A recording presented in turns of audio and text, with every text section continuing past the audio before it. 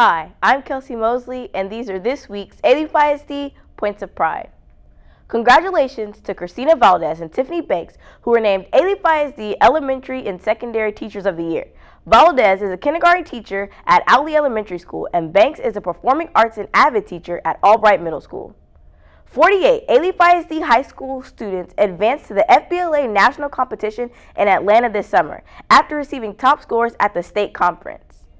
13 Alief ISD high school seniors were named Citgo Scholars. Only 40 scholarships were awarded to the class of 2023 graduates in the Houston area.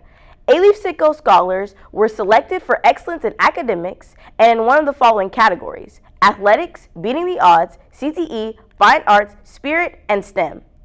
Eight Alief ISD high school seniors were awarded $1,500 in scholarships from the Indo-American Charity Foundation.